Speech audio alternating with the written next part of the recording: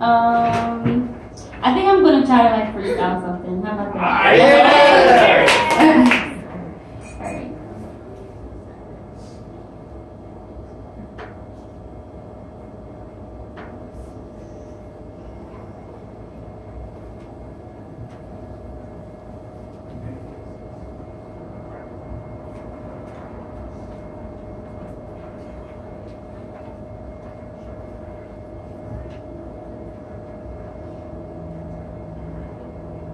My life changed.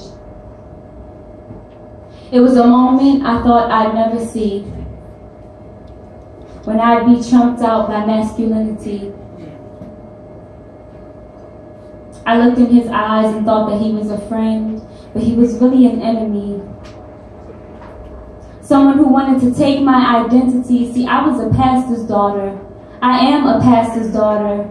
So I've grown up knowing how to live, right? Holy and in my dorm room, hiding from the public.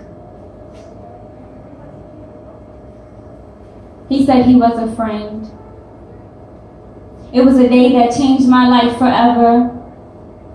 He took my body without asking for permission.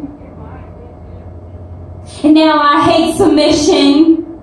Like, why should I bow down to a man? Why should I get on my knees and explain who I am? I don't think I need to. Poetry.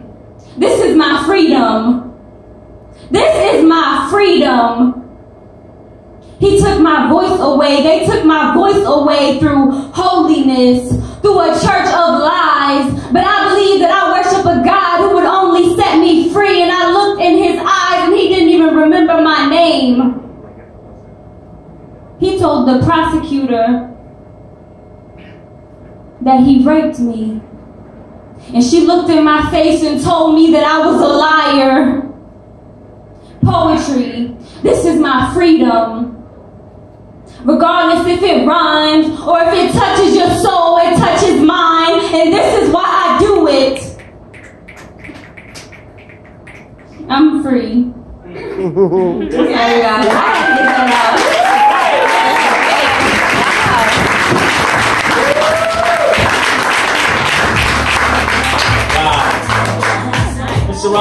Ryan, I hope that you come back. Uh, so I'm gonna I'm gonna have to ask you right here on the spot. Will you come back uh, next next month, uh, June 16th, and defend your title? Yeah. Hold on, wait. What did you say? What did you say? Yes! All right. Ryan. One more thing.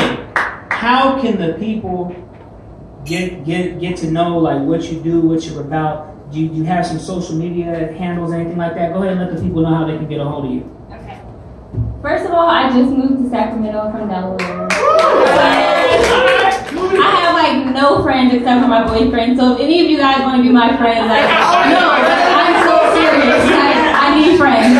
But um, my social media is just my name. It's super long. Um, but it's um, Surayyah Fluellen. S U R A Y Y A H F L U E L L E N. That's my uh, Instagram name. So yeah. But I'm so serious, guys. I need friends. So let's exchange numbers or Instagram, something, please. Indeed. All right. Once again, put your hands together